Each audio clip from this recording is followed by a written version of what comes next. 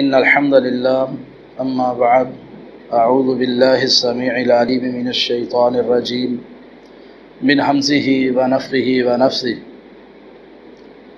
يا أيها الذين آمنوا اتقوا الله وقولوا قولا سديدا، يصلح لكم أعمالكم ويغفر لكم ذنوبكم.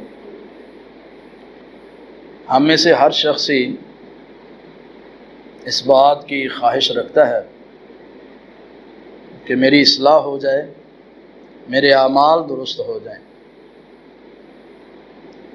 اگر کوئی شخص اپنی اصلاح میں مخلص ہے، تو اس کو قرآن مجید کا یہ مقام، یہ آیت جو میں نے ابھی آپ کے سامنے پڑھی ہے، یہ اپنے سامنے رکھنی چاہیے، اس کو سمجھنا چاہیے۔ اللہ رب العزت نے دو اصول بیان کیے ہیں۔ اس آیت مبارکہ میں جو شخص ان دو اصولوں کو اپنا لیتا ہے، تو اس شخص کی اللہ رب العزت خود بخود اصلاح کر دیتے اس آیت کو سمجھیے گا، اللہ رب العزت نے اس آیت مبارکہ میں اہل ایمان کو مخاطب کیا۔ یا ایوہ الذین آمنو، اے وہ لوگوں جو ایمان لائے ہو، ان الفاظ سے یہ بات معلوم ہوتی ہے کہ اہل ایمان میں بھی کمیاں کوتاہیاں ہو سکتی ہیں۔ اہل ایمان کو بھی اصلاح کی ضرورت رہتی ہے۔ اس لیے اللہ رب العزت نے اہل ایمان کو مخاطب کیا یا ایوہ الذین آمنوا اتقوا اللہ۔ اے وہ لوگوں جو ایمان لائے ہو، اللہ سے ڈر جو۔ پہلا اصول یہ ہے، پہلا ضابطہ یہ ہے، پہلا قاعدہ یہ ہے۔ اپنی اصلاح کے لیے کہ اللہ کا ڈر اپنے دل میں پیدا کیا جائے۔ اللہ سے ڈرا جائے۔ اللہ کا ڈر کیا ہے؟ اللہ کا ڈر یہ ہے کہ آدمی صغیرہ اور کبیرہ گناہوں کو چھوڑ دے۔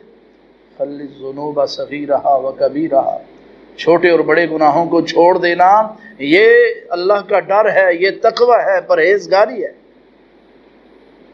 جو شخص چاہتا ہے نا کہ میں اللہ سے ڈر جاؤں، اس کو گناہوں سے توبہ کر لینی چاہیے۔ اور جو شخص اللہ سے ڈر جاتا ہے، اللہ رب العزت دنیا کے اس کے سارے کے سارے معاملات درست کر دیتے ہیں۔ دنیا میں اللہ اس کو خیر نصیب کر دیتے ہیں۔ اور قیامت کے دن بھی اللہ رب العزت نے ان کے لیے بڑا مقام رکھا ہے۔ رسول اللہ صلی اللہ علیہ وسلم کے پاس ایک شخص آتا ہے اوسینی یا رسول اللہ صلی اللہ علیہ وسلم اللہ کے رسول صلی اللہ علیہ وسلم، مجھے کوئی وصیت کیجیے گا، نصیحت کیجیے گا۔ رسول اللہ صلی اللہ علیہ وسلم نے فرمایا، اتق اللہ حیث ما کنتا۔ تو اللہ سے ڈر جہاں بھی رہے، تو اللہ سے ڈرتا رہے۔ تو گھر کی چار دیواری میں ہے، چوک چورستے میں ہے، تم مساجد و مدارس میں ہے، تو گلی کوچے میں ہے، تو عدالت کچہری میں ہے، تو تنہائی کے عالم میں ہے، تو محافل و مجالس میں ہے، تو جہاں بھی ہے اندھیرے میں ہے یا روشنی میں ہے، جہاں بھی تو رہے، اللہ سے ڈرتا رہ، یہ ہے اللہ اللہ کے رسول صلی اللہ علیہ وسلم کی وصیت۔ اللہ رب العزت کا ڈر جس بندے کے دل میں پیدا ہو گیا، اللہ رب العزت نے اس کو دنیا میں بھی فراوانیاں دی ہیں اور قیامت کے دن بھی اس کے لیے بڑا اجر ہے۔ ان الذین یخشون ربہم وہ لوگ جو اپنے رب سے ڈرتے ہیں، جن کے دل میں اللہ کا ڈر ہے، خشیت ہے، دنیا میں بھی کامیاب ہیں، قیامت کے دن بھی کامیاب ہوں۔ پہلا اصول اپنی اصلاح کے لیے یہ ہے کہ اللہ سے ڈرا جائے۔ اور دوسرا اصول یہ ہے وقول قولا سدیدہ بات سیدھی سیدھی کی جائے۔ اپنی زبان کا صحیح استعمال کیا جائے۔ زبان کا غلط استعمال نہ کیا جائے۔ بات سچی کی جائے، جھوٹ نہ بولا جائے، اپنی زبان سے کسی کو دکھ نہ دیا جائے، تکلیف نہ دی جائے، کسی کو پریشان کرنے والی کوئی بات نہ کی جائے۔ اپنی زبان کا صحیح استعمال یہ اصلاح ہے اپنے آپ کی۔ جو شخص اپنی زبان کو درست استعمال کرتا ہے، گویا کہ وہ اپنی اصلاح کرنے میں مخلص ہے۔ اور یاد رکھنا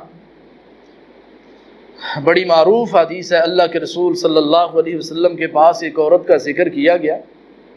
کہا، یا رسول اللہ صلی اللہ علیہ وسلم، یہ عورت جو ہے، یہ عورت کوئی زیادہ نمازیں نہیں پڑھتی۔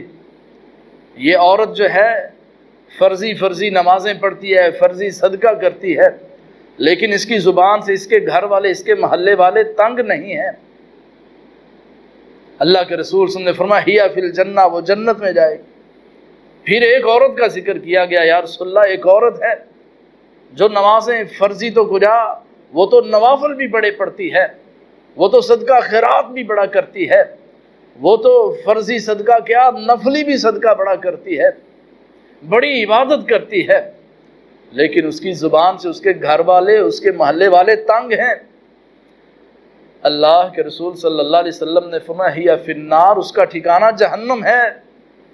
نبی صلی اللہ علیہ وسلم نے اس کی نمازوں کی پرواہ نہیں کی، رسول اللہ صلی اللہ علیہ وسلم نے اس کے روزوں کی پرواہ نہیں کی، اس کے فرائض اور نوافل کی پرواہ نہیں کی۔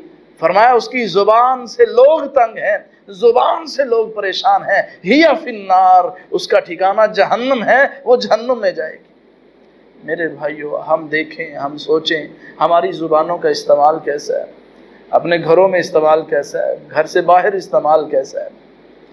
اللہ رب العزت نے فرمایا، جو شخص یہ دو اصول دو اصول اپنا لیتا ہے، اللہ رب العزت اس کی اصلاح فرماتے ہیں۔ یا ایوہ الذین آمنوا اتقوا اللہ وقولوا قولا سدیدا، یصلح لکم اعمالکم، اللہ اس کے اعمال کو درست کر دے گا۔ ویغفر لکم ذنوبکم، اللہ اس کے گناہوں کو معاف بھی کر دے گا۔